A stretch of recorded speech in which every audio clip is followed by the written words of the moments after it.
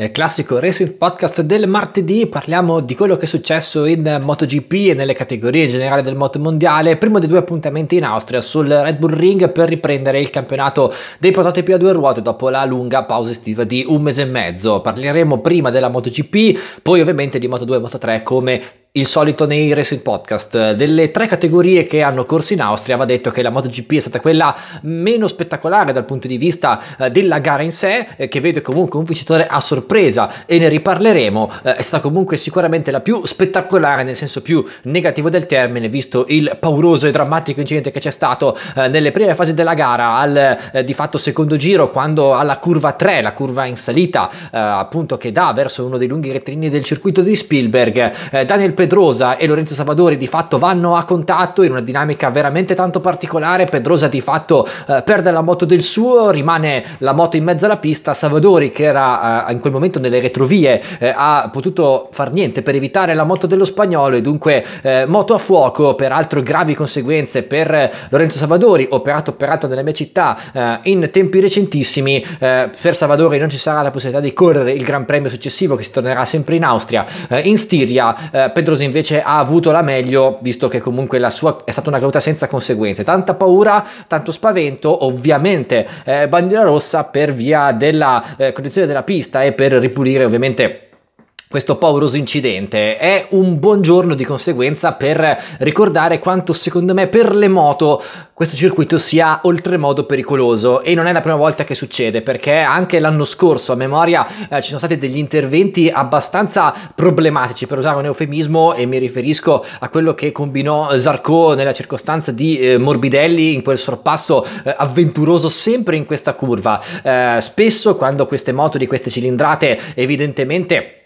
eh, combinano quello che combinano e spesso sono anche delle cadute protagoniste eh, per la conformazione del circuito spesso si trovano delle moto in mezzo alla pista e gravissime conseguenze eh, per i piloti. Savadori per esempio ne ha fatto le spese ne fece le spese sempre l'anno scorso Hafiz Yarin che centrò di fatto la moto di Bastianini rimasta in mezzo alla pista. Eh, sono episodi ripetuti nel corso di diversi anni che dal mio punto di vista dovrebbero far riflettere su un impiego eh, diverso secondo me del circuito austriaco quantomeno in MotoGP. Eh, è un discorso diverso invece per le Formula 1, ma per le moto secondo me è un circuito che non dico andrebbe tolto, ma quantomeno dovrebbe essere reso molto più sicuro di quanto già non lo sia e questi esempi di incidenti ne sono veramente la prova. Detto questo, eh, ripreso appunto il team delle competizioni eh, si è svolta effettivamente una gara, una gara sorprendente, non per la spettacolarità perché poi eh, il sorpasso decisivo è arrivato direttamente nei primi giri di gara, c'è però la prima vittoria della carriera in MotoGP per Jorge Martin su Ducati Prama, che la sua è sicuramente una storia molto bella perché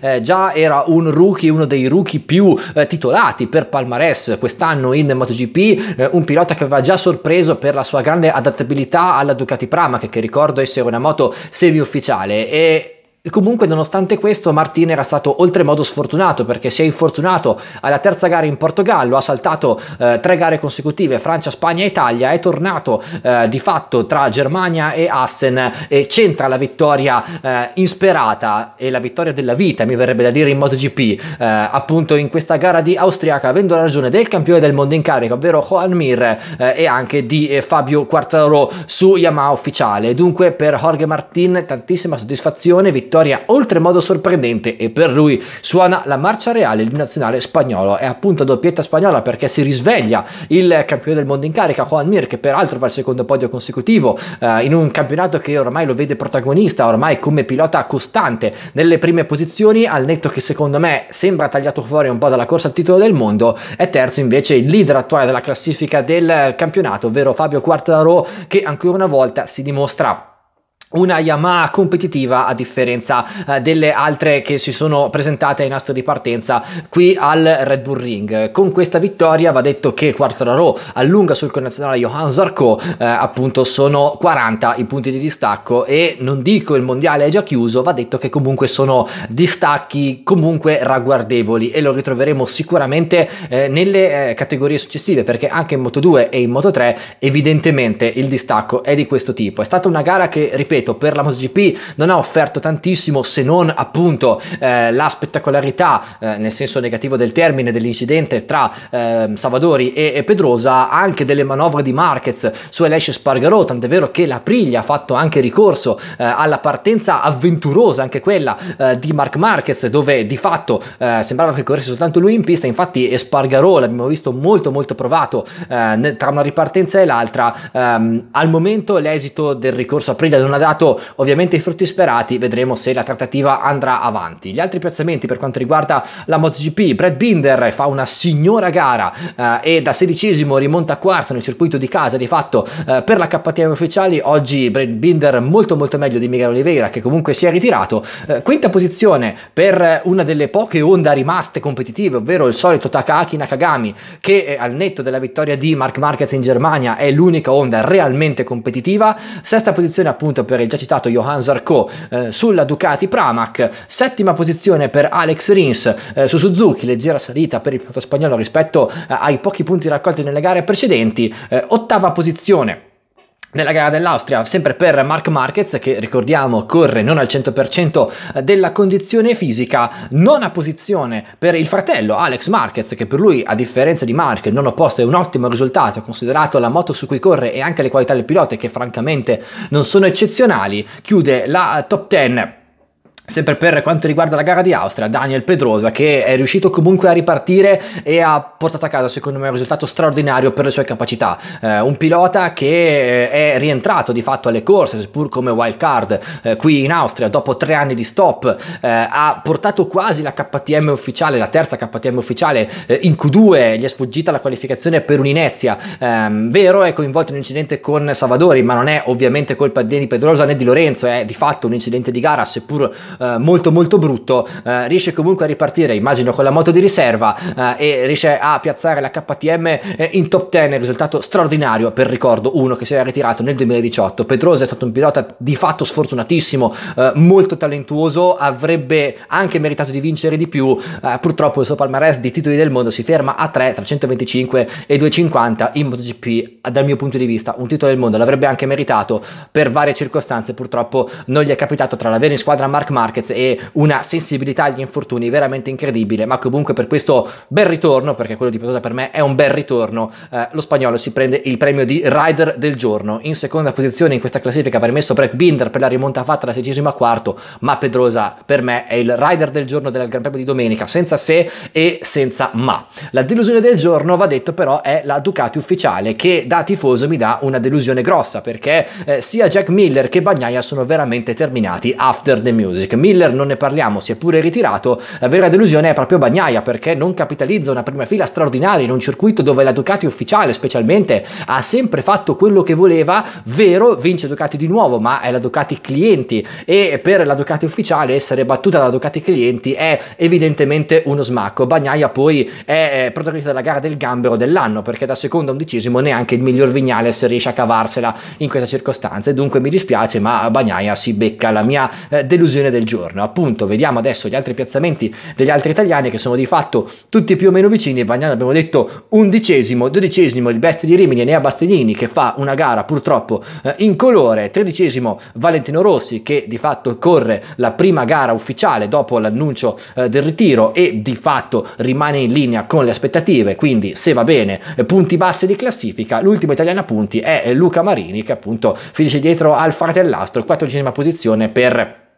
colui che è il compagno di squadra di Enea Bastianini di cui si parla molto di più di Enea ma questo è un altro discorso per eh, altri motivi. Di Savadori abbiamo detto che appunto eh, non partirà nel Gran Premio successivo di Austria e mi auguro di rivederlo presto eh, in Gran Bretagna. Savadori peraltro per le sue potenzialità sta facendo una stagione comunque eh, discreta con la seconda delle Aprilia ultimo italiano in classifica Tadelo Petrucci diciottesimo ancora una volta gara anonima per il pilota Umbro. Si parla a gran voce adesso che è andato via da KTM in modo ufficiale di Superbike l'anno prossimo benissimo con Ducati, probabilmente è un contesto a lui più favorevole, una MotoGP di questo tipo probabilmente per Petrucci ha eh, poche chance, ennesima gara in colore su una KTM clienti che eh, in realtà anche oggi ha fatto fatica, anche Iker Lecone, il compagno di squadra di Petrucci, è finito ai margini della zona punti e infatti entrambi non verranno riconfermati. Sulla MotoGP del team KTM Tech 3 ci saranno Remy Garner e eh, Raul Fernandez che sono di fatto i due contender principali del mondiale Moto2 che però non vede la vittoria né di Garner né di Fernandez ma vede la vittoria di Marco Bezzecchi che torna al successo sempre in Austria visto che l'ultima affermazione del pilota italiano è stata eh, appunto in Austria l'anno scorso dunque torna a vincere lo Sky Racing Team VR46 eh, in una gara peraltro molto bella perché è stata una lotta veramente sudata appunto tra eh, Garner e Bezzecchi in particolare poi Garner in realtà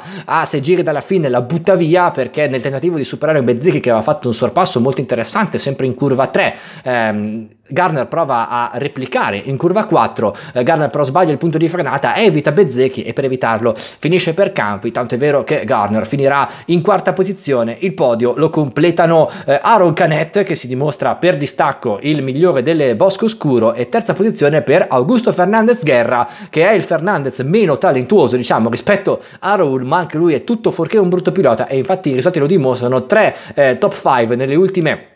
Quattro gare, peccato per Fernandez pagare una certa incostanza. Per Marco Bezzecchi è appunto la prima vittoria stagionale a fronte di quattro podi complessivi, eh, anzi cinque, compresa la vittoria, e per lui suona il canto degli italiani, il nostro inno nazionale. Non sono d'accordo però tuttavia con chi dice che il titolo del mondo sia riaperto per Bezzecchi, perché come dicevamo per la MotoGP, anche in Moto2 effettivamente il titolo del mondo sembra più una lotta a due tra i due KTM Aio. Eh, matematicamente Bezzecchi ancora in corsa ci mancherebbe altro, ma eh, non ha la costanza di Remy Garner che comunque pur buttandola via fa un quarto posto. E in un mondiale di questo tipo dove te la devi lottare con piloti altrettanto costanti come te, vedi per esempio Fernandez e Bezzecchi, per Garner è grasso che cola arrivare quarto e di fatto limitare i danni, anche se in questo caso dal mio punto di vista Garner di fatto la butta via. Gli altri italiani finisce a punti Selezione Vieti con un ottimo sesto posto, miglior gara per la stagione del secondo pilota Sky Racing Team VR46, veramente per dispersione eh, tutti gli altri italiani purtroppo non avranno modo di eh, esaltarsi più di tanto, la maggioranza dei, dei, quali finisce after the music fuori dai punti, si salva Lorenzo dalla porta che comunque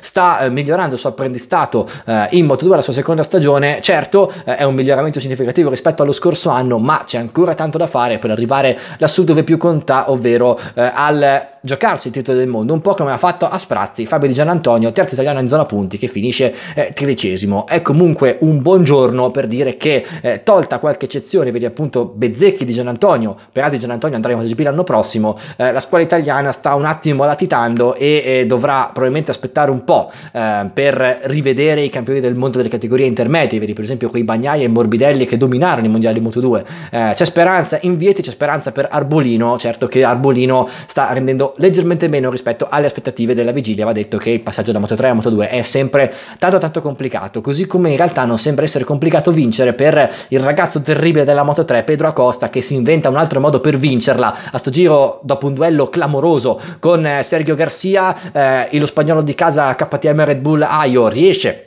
ad avere la meglio sul suo diretto contender eh, per il titolo del mondo Moto 3 eh, e per lui suona ancora una volta la marcia reale. È stato un duello veramente bellissimo, durato per 20 e passagiri dove Garcia ha provato a stare in testa fino alla fine, alla fine eh, negli ultimi due giri Acosta ha provato ad avere la meglio di Garcia e c'è anche riuscito, peraltro il miracolo vero lo fa proprio Garcia eh, che appunto spinto eh, dall'attacco di Acosta, dalla voglia di rimontarlo immediatamente, cade alla penultima curva, eh, Dio grazie, la sua moto gli rimane accesa, riesce a ripartire partire riesce comunque a tagliare il traguardo in seconda posizione, complice il fatto che vista una gara bagnata e umida, eh, appunto Garcia e Acosta hanno dato un'eternità agli avversari, tant'è vero che Garcia ha avuto il tempo di eh, prendere la moto, rialzarsi e tagliare il traguardo per secondo, davanti a un ottimo Romano Fenati che ha avuto la meglio in volata di Jaume Masia, stampato in volata eh, e comunque è un altro podio per Romano Fenati su Squarna, il eh, terzo, eh, o meglio il secondo consecutivo, secondo terzo posto consecutivo per Acosta, dunque l'ennesima vittoria in stagione, sono 5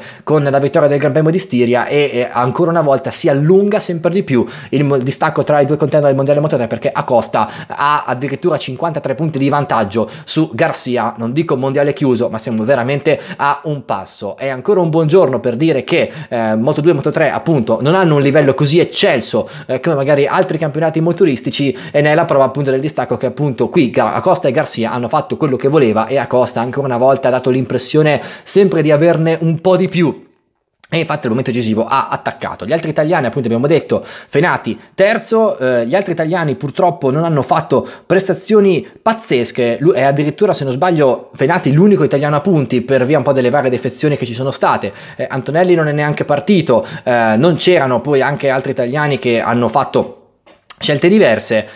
è appunto un'affermazione ancora più concreta, quella che dicevo sulla Moto 2, a maggior ragione si va a riflettere sulla Moto 3. Il talento in Moto 3 latita veramente tanto e quindi anche lì ci sarà bisogno di una nuova classe entrante che dovrà venire dai campionati successivi. È comunque un mondiale Moto 3 eh, interessante da vedere perché dà sempre delle gare molto interessanti. Certo, molto spesso vince eh, Pedro Acosta, ma comunque è il talento più grande di questa Moto 3 e sembra veramente un veterano in confronto anche ad altri veterani che sono già presenti in questa classe entrante di motociclismo.